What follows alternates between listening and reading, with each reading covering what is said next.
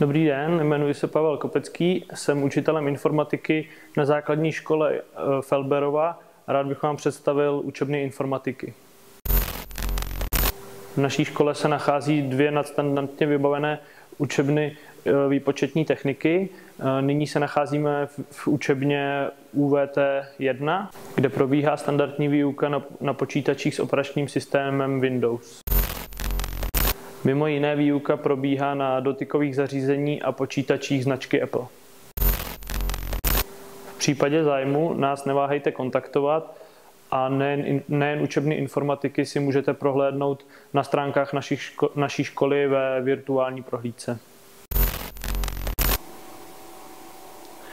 Vítám vás z druhé nově rekonstruované učebně informatiky. Tato učebna je vybavená systémem, který nám umožňuje za pomocí centrálního počítače učitele pracovat až na 16 zobrazovacích jednotkách. Třídy v hodinách informatiky vždy dělíme na dvě skupiny.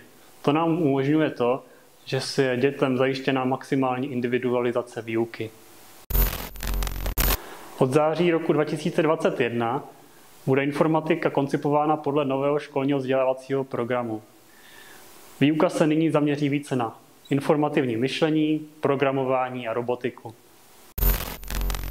Nová koncepce informatiky je pro nás samotné výzvou, ale věřím, že díky našemu nadstandardnímu vybavení bude naše žáky bavit a posune je za kus dál.